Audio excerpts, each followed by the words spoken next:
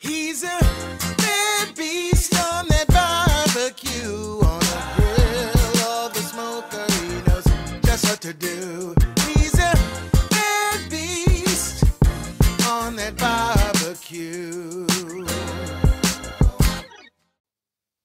Hey, what's going on, guys? Hey, welcome back to another episode of Bad Beast Barbecue. Hey, today we're indoors, and I promised the wife that I was going to cook her a seafood stew. Okay, I found a recipe for a seafood stew online somewhere, and I'll put the link to the original recipe down in the description block.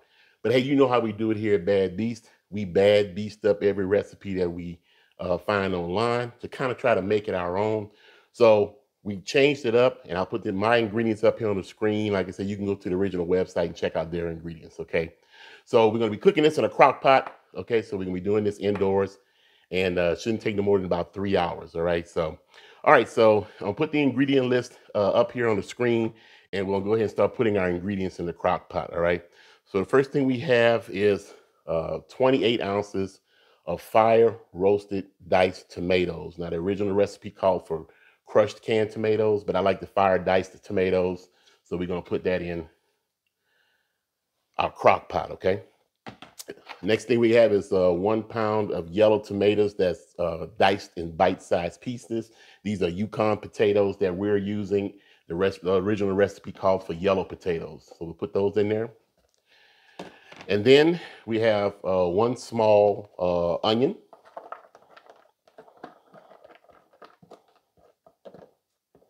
All right. We have now the recipe, the original recipe didn't call for this, but this is one uh, jalapeno pepper that's uh, diced up. So you can put that in there for a little added oomph. All right. We got three cloves of minced garlic. Get that in there. All right. We got one tablespoon of tomato paste. Like so.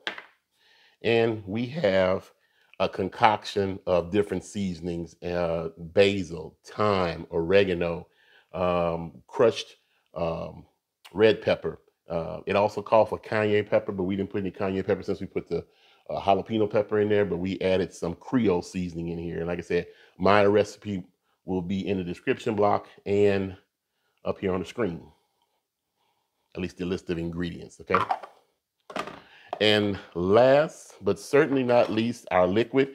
Now, the original recipe called for four cups of uh, vegetable stock, but uh, we're lucky here we can get some seafood stock. So I got four cups of seafood stock that we're going to put in here, okay?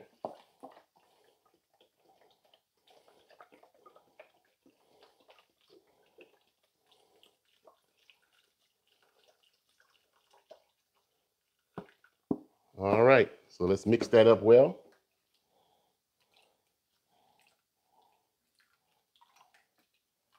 Try to break up that tomato paste. We don't want to leave it in one big clump. All right, so we got everything mixed well together. All right, so what we're gonna do is we're gonna cook this on high two to three hours until our potatoes are tender. And then at the very end, we're gonna throw in our seafood.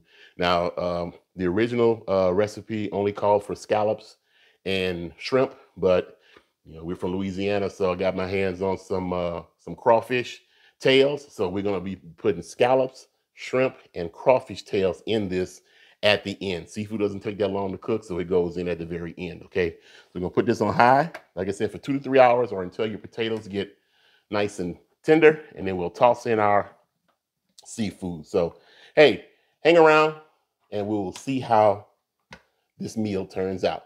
Don't go nowhere. All right, guys, so we're back. It's been about two and a half hours now, so we're gonna go ahead and, and add our seafood. We'll go ahead and give this a stir before we do that, though. Smells really good. It's still a little watery for my taste, so if it doesn't thicken up, we may have to wind up putting some uh, some a cornstarch slurry in here to kind of thicken it up.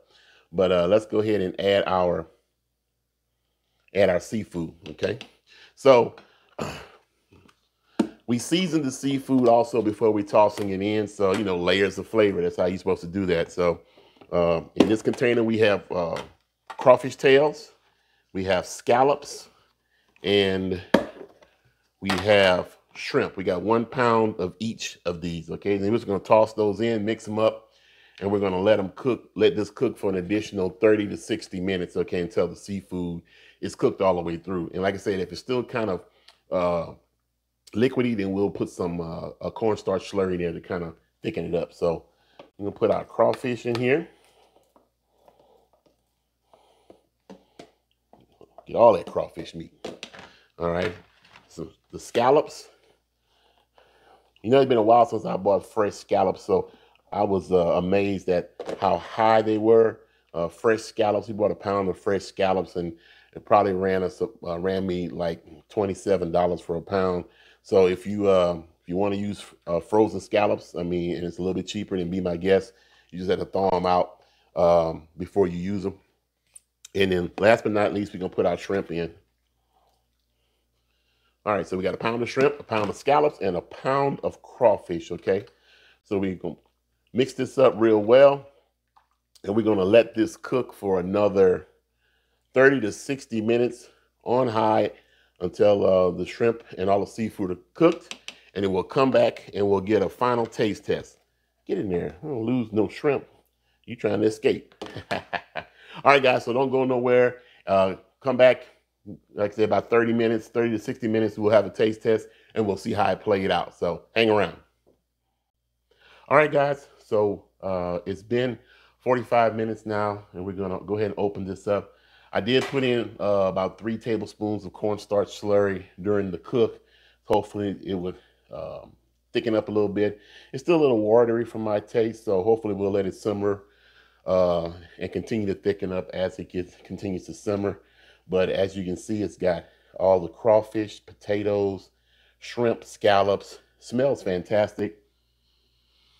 I just hope it tastes as tastes as good as it, it smells. And then we can always add more seasoning after the fact. So let's go ahead and dish this up a taste.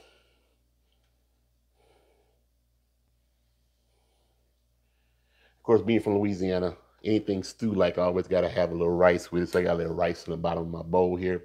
So let's go ahead and taste this.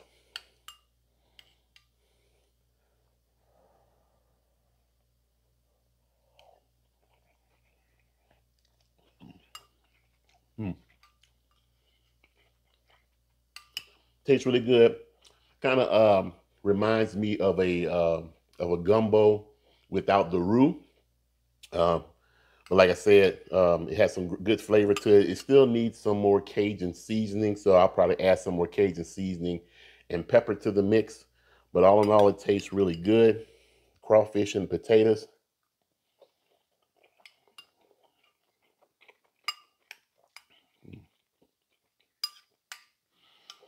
Tastes really good.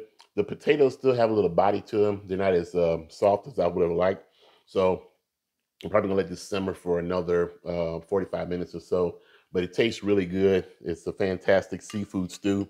Um, definitely can't go wrong with making this one. Got to have another uh, another bite and taste the scallop. So, mm.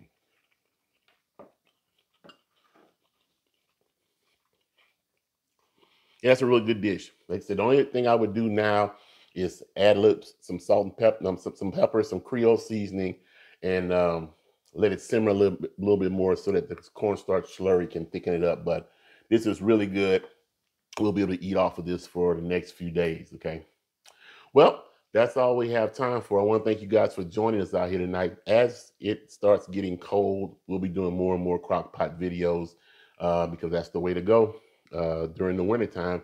You throw your ingredients in there and you let them simmer for a few hours and you have a fantastic meal at the end. So, well, like we always say, where there's smoke, there's fire. If it's fire, then damn it, there just might be a barbecue there or a bowl of seafood stew waiting on you. Hey, as always, hey, we'll see you guys around the smoker. Mm. Potatoes still a little crunchy, but all in all, it's really good. See you guys in the next video.